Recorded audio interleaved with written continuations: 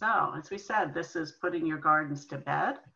And um, in this presentation, um, we're gonna cover uh, finishing uh, annuals and vegetables, uh, prepping your perennial gardens. Uh, we'll focus a little bit on non-hardy plants that you might have in your garden and planting bulbs. And we'll also get to uh, prepping your, your trees and your shrubs and your evergreens because we do have winter challenges both from weather and wildlife. And then one little slide on tending to, to um, tools and supplies at the end. So let's start out with uh, finishing off your vegetable garden, and this could also apply to other annuals. So one of the ways to think about putting your garden to bed is, is thinking about making an investment in next year. Think about the spring and what you want things to be like when you start out your garden next year. Uh, so we want to clear out plants, we want to remove weeds, we want to either till or uh, add compost or plant a cover crop. Uh, and it is a great time to do a soil test and it's a great time to add soil amendments because many amendments take time uh, to do their work. So uh, as you're maybe finding out, harvesting vegetables is not a once and done thing. Um, my tomato plants always start to die back from blight and um, my cabbages come ripe and I cut them. And so you may already be removing things from uh, your vegetable garden as they finish up. Um, maybe you've planted some things recently. I've got a spot I want to put in some spinach seed. I put in green beans after the peas. So when we think of putting the garden to bed, it might not be just a once and done thing. It might be a process. One thing to notice is that if you are noticing that any of your plant material is diseased, um, then you should be removing that material from the garden and not composting it. Uh, I've got a separate trash bag in my garage right now for those um, tomato vines that have better virusy. I did get some uh, wilt in my cucumbers this year, sadly. Uh, and so I'm trying to keep that stuff out of the compost. Um, you see the little thermometer on uh, the screen there. Most home compost does not get hot enough to kill the kinds of disease organisms that could reinfect your garden when you put that compost back on. Um, if you uh, learn enough about compost and are proficient enough with it, I know some people that use the thermometer and are really scientific about it and can get the, the temperature up.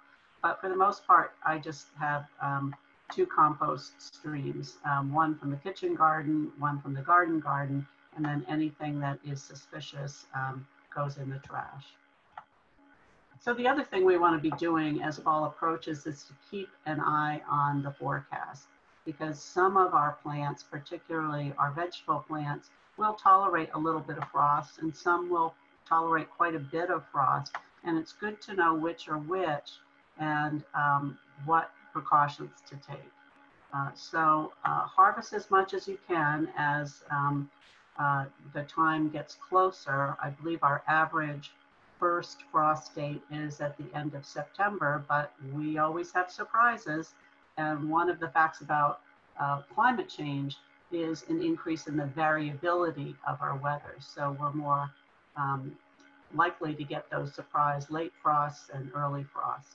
I was surprised this spring because I was taking Memorial Day as my average last day of frost, but Memorial Day was on the 23rd and we got a frost on the 30th. So I think I've uh, learned my lesson there. Um, so a light frost is when temperatures get down to uh, less than 33 degrees, but still above 28 degrees Fahrenheit. It's typically only for a few hours. And if you're new to gardening or if you're new to this area, one of the things you want to really be attending to this year is how does what happens in your yard vary from what the weather forecast is? Are you in a frost pocket? Is it a little bit warmer than usual? And I often find that um, even though we're reading the temperature from out at the airport in Keene, our Keene backyard sometimes is, is colder than that. So if you have carrots, peas, cauliflower, celery, lettuce, and beets in, they can tolerate that light frost and some other things, particularly our uh, cole family and spinach and turnips um, can handle uh, a, a, heavier frost, a hard frost. So one of the things you want to be prepared to do, and you may want to get the materials together over the next few weeks, is to think about some kind of covering for your um, tender annuals uh, and for um, those that can tolerate a light frost. And this should um, include some type of cover. It could be a plastic sheet, it could be uh, netting or fabric, just a bed sheet, um, and also some type of uh, stakes or framework to keep uh, the plastic or the covering from actually touching the plants. So I've got a couple of sections of four by four fencing, like four by eight, and I can kind of make an arch in my raised bed and, uh, and hold a lot of stuff over that. So I tend to move that um, material into the bed where I want to have my maybe fall greens growing. If you have tomato cages, they can hold up um, this covering too. So it's, it's a, a very, very kind of intensive uh, period when the weather's starting to get cold. You've got to watch the weather. You've got to be ready to run out um, before dinner maybe and cover things up. And then um, in the morning, um, hopefully if you're working at home, you don't have to worry about whether to take it off before you jump in the car to commute, but um, you want to uh, unwrap things and, and let that warm up again. So, um, you know, a couple of you raised this question about whether to till um, or not to till. And um, it's, it's a great question. I think for many years, we kind of felt like the thing to do is to get everything out of the garden, clean out all the plant debris. Often we'd add manure in the fall and we till it in and we pretty much leave the soil um, bare. Um, today we have more of a focus on regenerative agriculture, on building the soil and getting um, the soil to retain uh, carbon. Um, things that improve soil health include keeping the soil covered and reducing the amount of soil disturbance these things maintain good, good water infiltration through maintaining good soil structure. Um, and they also help us to avoid compacting the soil by going out and walking back and forth over it uh, in the fall. So gently tilling the surface of the soil might be right for you, depending on the size of your garden, if it's flat or raised, um, on the um, kind of equipment you have, and, and what you're prepared to do uh, in the spring. But whether you till or go no-till, um, remember that bare soil erodes and loses nutrients. So any material that provides cover for insect pests, you can think of as also providing cover for the enemies of those insect pests. Uh, and when, you when you put your garden to bed, it's a, it's a good thing to cover up. Let's see if I can get this to, having trouble advancing. There we go. So think about fall as a time to feed the soil. Um, add a layer of compost or shredded leaves and grass. Uh, plant a cover crop. I'll say more about that in a few minutes. And if you're adding manure or lime or other amendments, particularly rock amendments, uh, uh, directly to the garden, fall's a good time to do it. Um, any of these amendments uh, take a, a, long time to become incorporated in the soil, uh, unlike chemical fertilizers, which are pretty quick. Um, and the winter is pretty cold, and so the kinds of processes, particularly the biological processes that break down compost and manure, aren't happening very quickly over the winter. Earthworms do a lot of this work of incorporation for us. So you can think of them as being your little mini rototillers that are going to incorporate that mulch into your garden. Uh, you can see from this slide of um, my raised beds that uh, I had mulched this bed over the winter and pulled the mulch back to put the peas in, and then I was able to pull it forward again after they had sprouted and fill in. So it really saved me time to have the mulch already on the bed. However, I've noticed if I have two or three inches of leaf mulch on the beds, the soil's very, very slow to thaw out in the spring. And so this year, what I did was to pull the mulch back um, and pile it back up over by my compost heap in March to let the ground warm up so I could get those peas in nice and early and then uh, bring it back over. So what about cover crops? Um, last year was the first year I started to put in uh, cover crops in my raised bed. It always seemed to me like something you would do um, in a field. Um, and I'm beginning to realize the benefits of them. Um, cover crop is a way, uh, a really inexpensive way to bring uh, more fertility to your soil. Um, many cover crops will winter kill in New Hampshire, so you can get them planted and growing, then they die back. But over the winter, um, they hold soil in place and their root masses help keep the soil aerated. Uh, if you have a cover crop there, then they're competing with weeds that might come in in the fall. Um, they add organic matter, and as they die back, that organic matter turns into uh, a kind of a ready mulch for you. So there are a couple of strategies for cover crops. One is this winter kill strategy where you choose uh, seeds for plants that will die back in cold weather. They'll still provide enough biomass to cover the soil and the ground will be ready for planting in the spring. But you do have to plant them well before frost.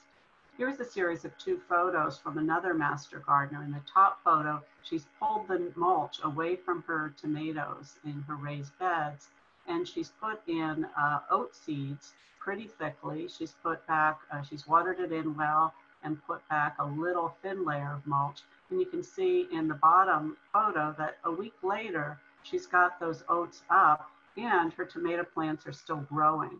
So that's one strategy for putting in a cover crop uh, in the next few weeks. Um, and here's um, the way that those beds look then in the spring. She had pulled the tomatoes out, the oats died back, but they have that nice layer of mulch um, ready for her to, to plant through the next year. The other type of cover crop strategy is what are called winter hardy cover crops. And these are cover crops that will survive in the winter and resume growing in the spring. So you've got to do something to get them to stop growing so you can plant what you want to plant. And that might be mowing them and kind of turning them into the soil. And you need to do that several weeks before you plant because when you turn all that good green stuff into the soil, um, it's uh, going to be um, absorbing nitrogen um, that you would want available for your plants.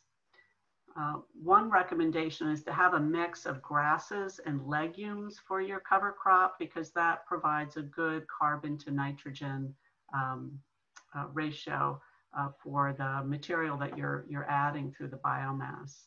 Um, I just ordered a very small packet. I think it was their smallest packet they had from Johnny Seeds of this fall green manure mix. And it's a blend of winter killed and winter hardy cover crops. As I said, I did this in my raised bed last year. It was growing right through the snow. Um, in, in, the spring, I just kept, it was where I was going to put my tomatoes in. So I wasn't planting really early. And I just kept pulling it up by the roots and leaving it in place. And every time it would rain, it would start to grow again. But eventually I was able to put mulch over it. And um, one of the things I noticed was as I pulled it up, there was a lot of this sort of white stringy stuff, the mycelium that comes from uh, you know, fungus that are growing around the roots that uh, plants really love. It's the stuff that helps connect the plants in your garden uh, to the nutrients in your soil. So speaking of soil, it's a great time to do a soil test. Um, it doesn't take very long to do. It's just one of those to put on maybe your Saturday morning to-do list. Um, it takes a little while because you have to collect the soil sample and you have to, to dry it. Um, but uh, you know, getting that all set up and sent in is is uh, really worthwhile. And um, I was uh, kind of frustrated all summer because we kept telling people to test their soil, but we kept telling them you can't do it through the UNH testing lab.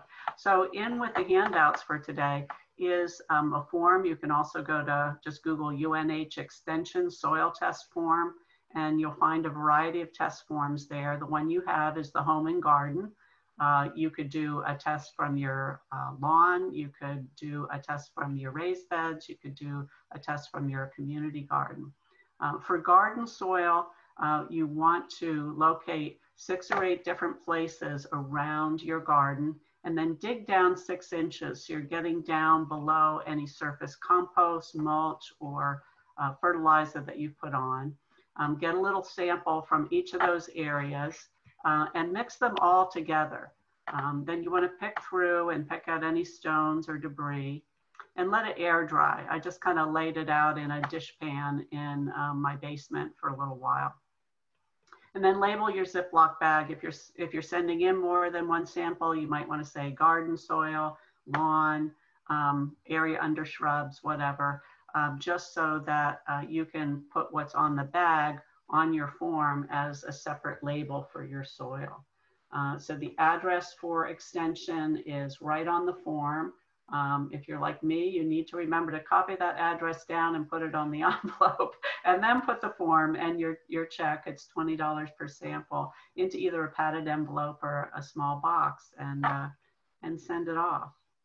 So what do you get for that? Um, you should get, um, all right, come on, let's advance that slide.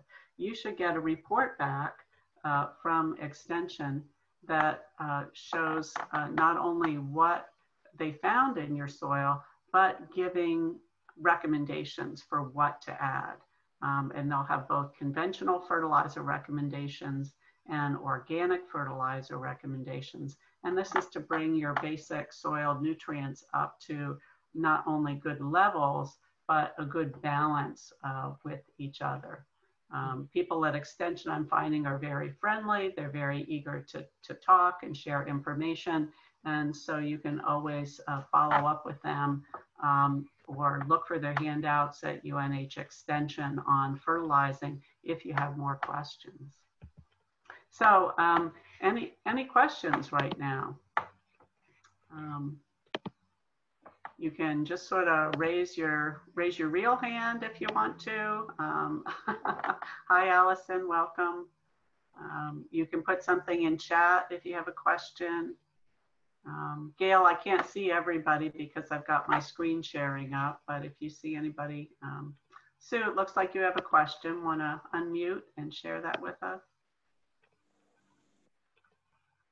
Yeah, so Joy, um, we always compost with straw and um, I've heard different things and we use the same straw uh, uh um, over a few seasons because it doesn't come, you know, it doesn't degrade. Doesn't break down. Mm -hmm. um, so uh, um, I've heard a few things about uh, whether straw will um, will kind of incubate insects and and whether that's a, becomes a problem uh, the following year. Um, do, do you know anything about that?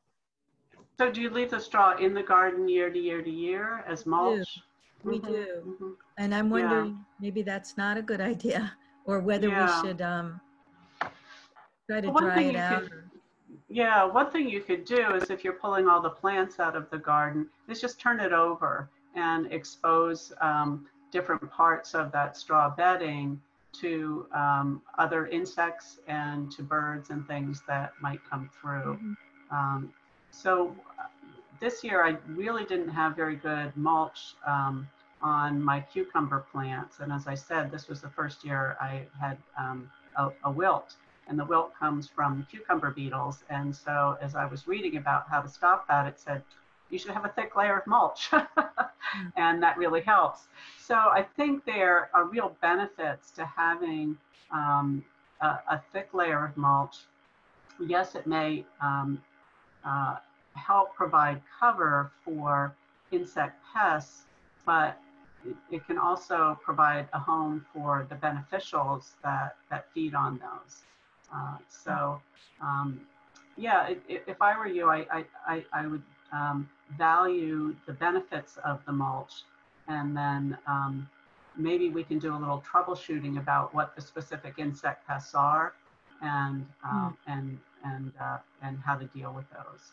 Um, the other thing would be to take the straw off and um, put it in your compost heap and then um, maybe bring in some leaf and grass mulch or something.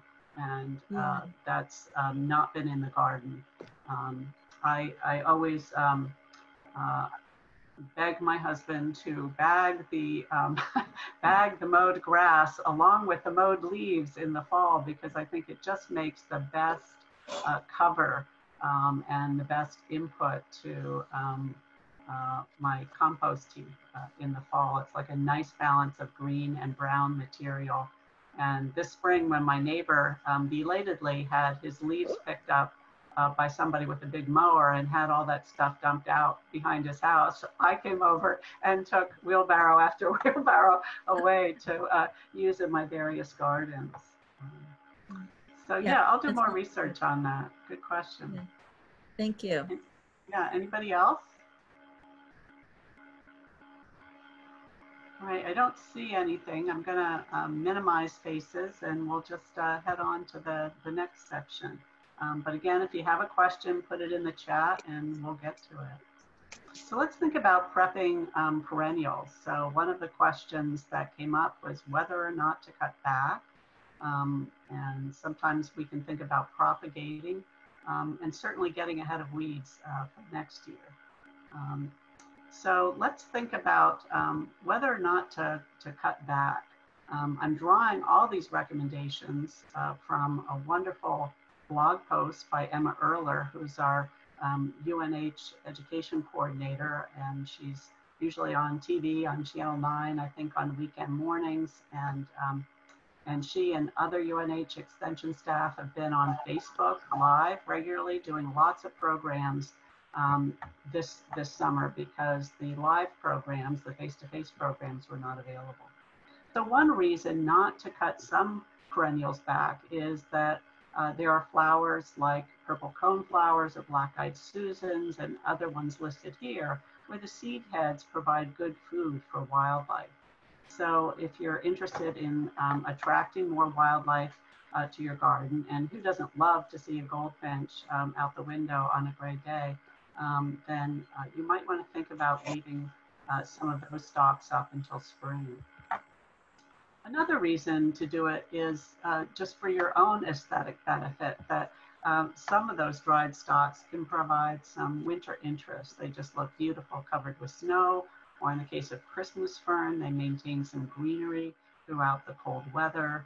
Um, the seed pods of uh, some of these plants just just look nice uh, poking up. There's um, you know there's one aesthetic of having everything cleared out and down to the ground and and and. Um, but, but, you know there's also the more um, maybe woodsy uh, natural aesthetic of having uh, some graceful uh, branches in the garden through the winter. Um, and another reason is for some of the plants, particularly ones that are not quite as, as hardy, that might not always come back as robustly as we like, having those leaves and stalks poking up uh, actually allows some leaves to congregate and some snow to congregate and just helps provide a little blanket uh, over those plants throughout the winter. Um, Another thing is it's a little bit easier to remember where they are um, when, uh, when spring comes. And if these are sort of late rising perennials, um, I, I may be the only one here, but I doubt it, who has accidentally weeded. Like, oh, that's right, that's where I planted Westernschutz, and I forgot all about it. Uh, so sometimes they help provide a clue to what's there. So when we when we do cut back, um, we want to think about, um, again, if there's any diseased foliage to put that into a separate stream. Uh, again, we have a very small property, so there isn't like a back 40 where I can take it and put it away from the garden. It, it goes into uh, the one trash bag that we almost fill every month um, and, um, and goes off somewhere else. Um, but otherwise, we want to compost the dead foliage. Um, I did get little wooden tags this year, so maybe I'm going to mark some locations of things. But if you have iris or daylilies or hosta, astilbes, peonies, yarrow, all this stuff, phlox, um, you can just cut that uh, right to the ground in the winter and, and compost the vegetative parts. Um, some foliage will main, uh, will, some perennials will, will hold on to their foliage later.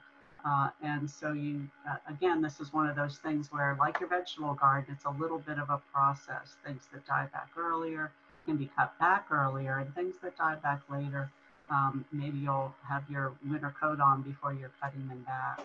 Um, if there is basal foliage around the stems, it's a good idea to leave um, that alone. Just cut back the stalks and the stuff that really sticks up above the ground. Um, what about propagating? Um, uh, you know, an, another confession I have is that I tend to divide my perennials whenever I feel like dividing my perennials according to uh, the time, inspiration, and oh, this would look good there. Um, but you know, uh, the recommended time is is to divide and move them in spring. However, I have some four o'clocks that are, you know, like mint, a plant that likes to take over, and I'm I'm waiting until maybe another week or so to move them out of the perennial bed where um, they were taking up a lot of space in a brand new bed that didn't have a lot in it. And now it's time for them to go out and be put on the edges of the woods where they can do what they want and get mowed when they get out of place. Uh, I also have a lot of um, sort of self-seeding uh, perennials. I guess they're really annuals um, and annuals that I plant in my garden. So this is another time where I'm going around and um, picking off those seed heads and either saving them to plant in the spring or just sort of scattering them around the garden. I've decided that dill uh, doesn't really belong in my raised beds. It belongs in my perennial bed. So every time I get a dill volunteer in my uh, raised bed, I let the seed uh, seeds develop and then I uh, cut that off and put it in the back of the perennial bed where it can come up next year. So getting ahead of weeds, um, again, you want to think about how do you want this garden to look in the spring and uh, often plants that are weeds are weeds because they're uh, so good at growing late into the season and starting early in the season. And they tend to get ahead of the plants that we really want to see more of.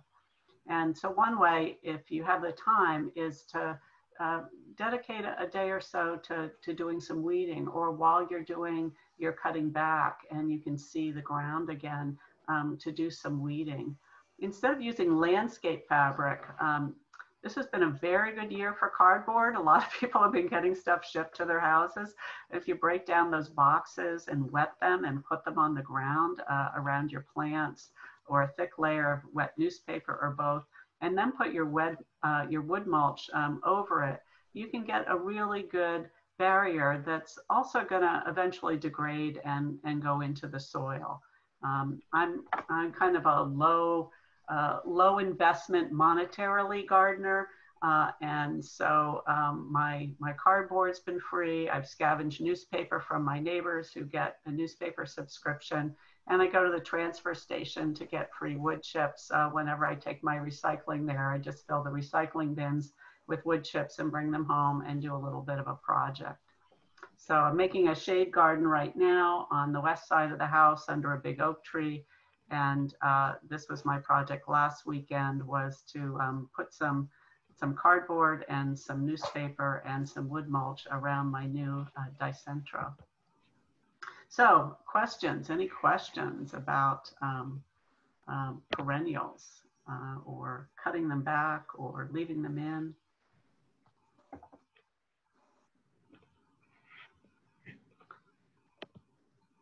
Any hands up, Gail? Yeah. Any, um, Uh, anything in the chat? Jean, Jean has a question. I have a question about hellebore since it comes out early in the spring.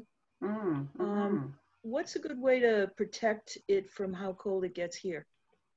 Mm, yeah, good, good question. Is anybody else on the, um, on the call grow hellebore? It's also called Lenten rose. Right, right. My sister grows it in North Carolina and she always sends me these pictures in February, which of course make me very jealous. Yeah. Um, so I, Yeah. I, I don't have any experience with it. Anybody else chime in? I have several hellebores. Mhm. Uh, I really don't do anything to them. I'm a little bit warmer than Keene, I think, because I'm in Greenfield. Um, and I just let them be green all winter. And in the spring, when they send up their new shoots with the flowers, then I cut back the um, old green that had from the previous year. But I don't cut it back until, oh, I don't know, probably the end of March. Okay. All right, great. So that's Thank an you. example of, of letting the vegetation hang on a little bit to provide a little, um, maybe a little trapping of heat and, uh, and leaves and, and snow over the winter. Well, it also adds some winter interest to the garden because it's Yeah. green all the time. Um, Yeah. All right, I'm putting it on my list. I want some up- hellebore. Some of the flowers are, are beautiful. Mine, because I don't have enough sun, uh, they turn their heads down towards the ground. Mhm. White and pale green and a, a green and sort of a plum and a plum color. And the, the center of the flower i- is a, like a lime green or something. But they're very Can you- Can you spell that h- hellebore, did you say? H E L L E B O R E. Thank you. It's here on uh, this slide under things that have um, evergreen foliage. I hope I spelled it right. Um, Yeah, it is lovely. Yeah, Joy, there's a question in the chat though. It says um, uh, they have pumpkin plants that were doing great, but the center is wilted and the soil is mostly cow manure. And why might they have wilted in the center? Did- So did the greens wilt in the center or the pumpkins? What, um, I think it's the greens, the greens, yes, Mhm. but not the ends of the greens. Mm-hmm. Yeah. Yeah, I, I am, uh, I have sort of a black thumb with squash. I keep trying. Um, but um, there, there are two things that tend to go after uh, most um, uh, winter squash and in, including pumpkins. One is a squash vine borer.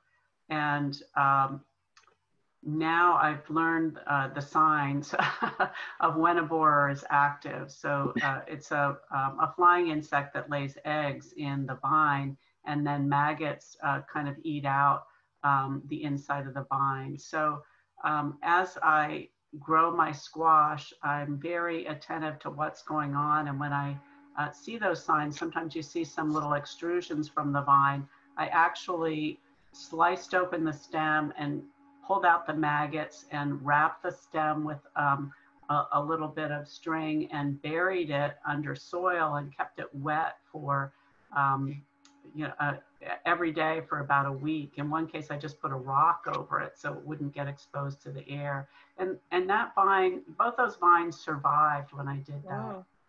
Um, squash bugs tend to uh, really decimate these and um, uh, that's something where you can uh, Google squash bug. I'll, I'll uh, make a note to add um, a handout on that if they have one from um, UNH. But they have very distinctive uh, eggs that look like little copper beads on the back of the squash leaves. So I'm always checking the backs of my squash leaves and scraping them off. And right now squash bugs are running to my squash from uh, my neighbor's squashes at the community garden and so i'm on um, uh, you know bug squishing patrol there. Um, there are also various wilts so uh, the hubbard squash really got attacked by the squash bugs and the squash vine borers in my garden right next to them was planted spaghetti squash which just did not have a bug problem. That tells me something. Stop planting hubbard squash. Um, but the um, the uh, spaghetti squash has really gotten that uh, powdery mildew. It's gotten mildew on its leaves, and the leaves have died back from the ground first um, and are still going strong up at the top. And so that's one of the things that even though I'm getting good squash, the plants themselves are dying back. Um, so if you want, you all, um, I'll send out with the other handout the um, uh, contact for the info line if you want to send a picture in of what's happening uh, to your pumpkins uh, to the um, UNH extension info line, uh, they can email with you or talk to you on the phone about the problem. But it's great if you can have a good photograph and if you can describe both the healthy parts and the affected parts of the plant and talk a little bit about when you saw that um, problem developing. And, uh, and they can sort of help diagnose it for you and give you some uh, tips on uh, what to do to um, keep it from happening again next year. Any other questions?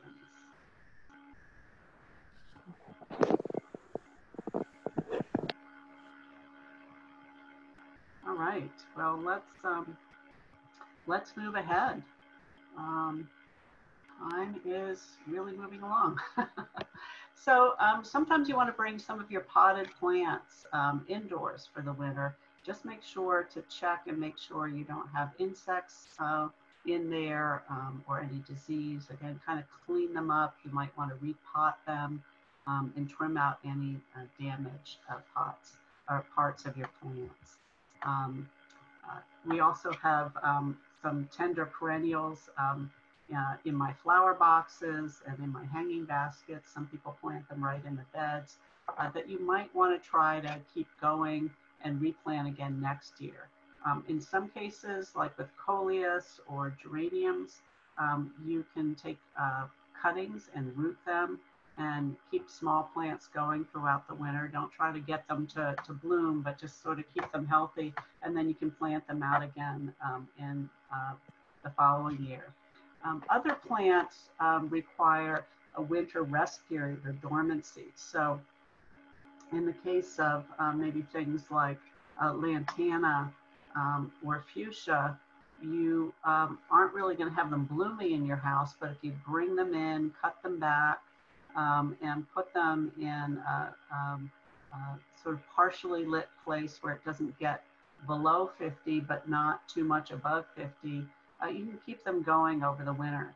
So uh, I've got a great lantana right now. The um, uh, hummingbirds are on it every day. I, Yeah. you know, wish it would bloom inside like that all winter. Yeah. Um, but what I'm reading is that um, right now I should start to cut back on fertilizing it, um, not overwater it, and then maybe I'll put it in a basement windowsill for the winter. And you know, if it makes it through, I'll have it to repot and put out again um, next year. Some people uh, plant tubers and um, uh, and fall plants in their garden. Um, this is a picture of something Yeah. called elephant ears that a friend of mine grows. Um, many people plant gladiolas and dahlias and um, tuberous begonias and canna lilies. And so these um, bulbs need to be taken out of the ground uh, in the winter um, and overwintered and then replanted again. So, uh, for example, if you were going to do that with the elephant ears, you would wait until after the first frost, cut back the dead foliage, and have this little corm or stump with the roots attached, and then um, dig around it about three inches out um, from uh, the, the stem and pull it up and rinse off the roots to try to get most of the dirt out of it. And then you want to bring it indoors and let it dry pretty thoroughly uh, and pack it in peat moss or, or peat moss or vermiculite to uh, kind of keep it covered up throughout the winter. But keep checking it. If you have a bunch of these and some get moldy, you'll want to pull them out so they don't um, spread that uh, for the um, to the next um, uh, corm in the pot. And it's uh, time to think about uh, fall bulb planting as well. Um, right now, the Cheshire County Conservation District has a summer bulb sale going on um, right now through September 8th. So if you uh, put CCCD into your Google or um, if you um, are on their email list, you've gotten an order form, and I'm sure many of the garden stores have bulbs for sale. So um, depending on where you are, late September and October through um, uh, early November are good times to plant bulbs up here. You don't want to plant too early. You want the soil temperature to be below 60, but um, if you felt the temperatures last night, I think it was supposed to get down to 49 degrees. Um, in, in August, we're already starting to get a little bit of cooling. So be Mm. thinking about where those bulbs would go and what you'd want to plant. Um, considerations are to um, keep in mind you're going to have to do some digging, that uh, the, the depth of a bulb is really dependent in part on the size of the plant, and that's know, somewhat related to the size of the bulb. So um, you want to be able to um, either use a bulb planter or a spade to, to dig down deep. Um, you want to think about how to mix um, a variety of bulbs or cluster those bulbs together uh, and think about what kind of amendments to put in the soil to uh, feed the green parts of those um, plants um, and um, when you start to put things like bone meal into the ground, you'll find that not only the bulbs, but the smell of the bone meal itself uh, attract critters who like to eat those bulbs. So um, depending on your experience with this or what you're expecting, um, you might want to put your bulbs in cages where the, uh, the vegetation can grow through, but the critters can't get in to, to eat the bulbs. So um, any, any questions on uh, that part of the talk?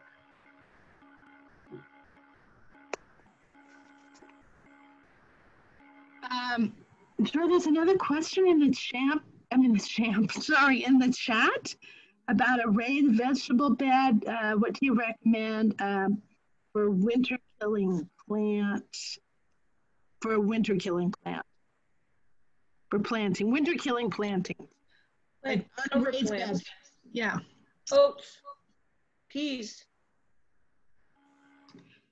Can you put can you put the peas out in the uh, the end of the year for the that will be there? f- I think you can do that, right? I can plant my peas like at the end, so they're all out. They're all winter long, and they just come up in the spring. No, they don't.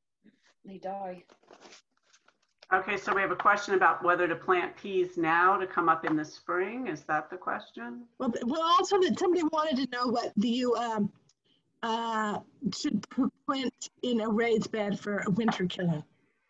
Oh, for, for a winter kill cover crop. Yes. Yeah, yeah.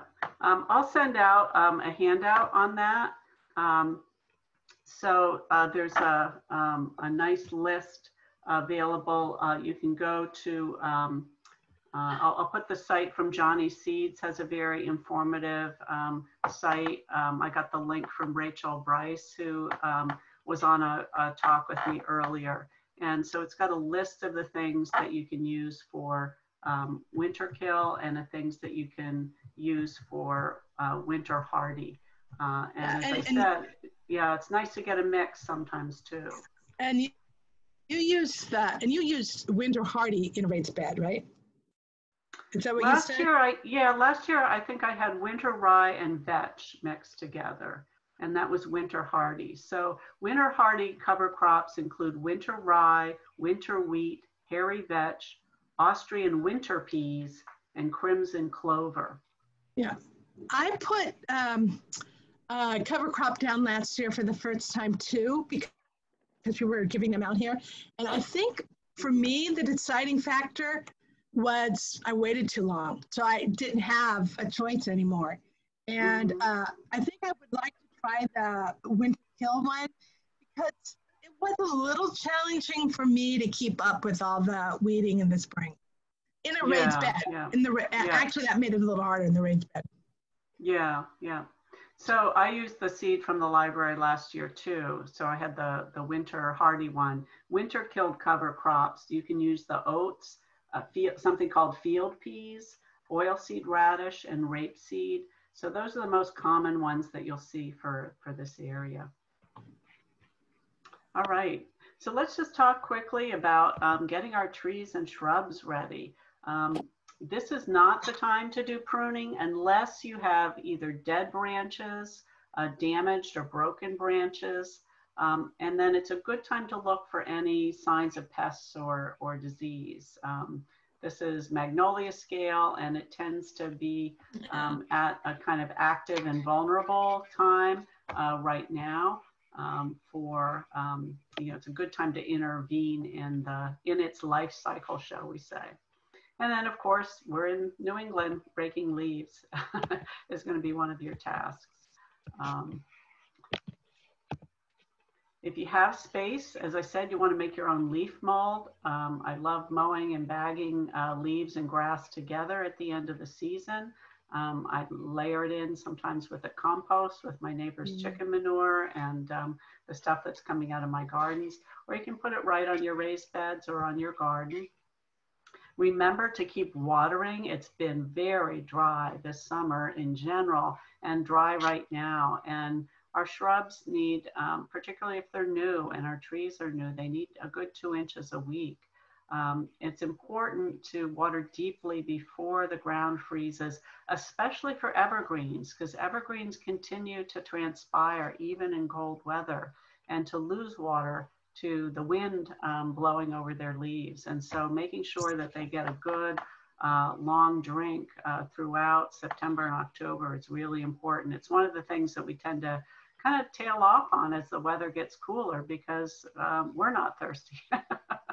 um, and then mulch plants to conserve that water in the soil.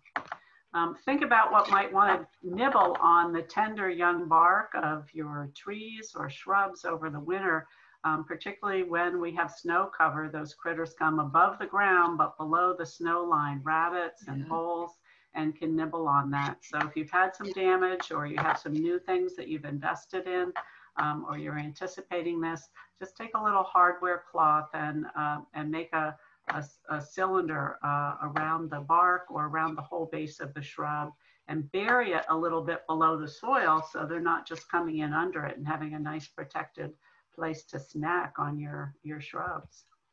Um, we get winter damage from salt, um, but also from drying or desiccation. Uh, and some of the plants that are prone to winter in- injury are um, some of our favorites, uh, like Japanese maple and roses. Last year was just a devastating year for rhododendrons. You may have seen a lot of rhododendrons and junipers and arborvitaes that were just brown over most of them um, this past winter. And it was that combination of cold temperatures and wind um, and, and lack of water. Uh, so again, you can um, water them well and then uh, if, they're in exposed areas to protect them, you can wrap them directly. Um, the bark, uh, particularly thin bark, is subject to sun scald where you get sun directly on the bark, but the temperatures are freezing and it splits.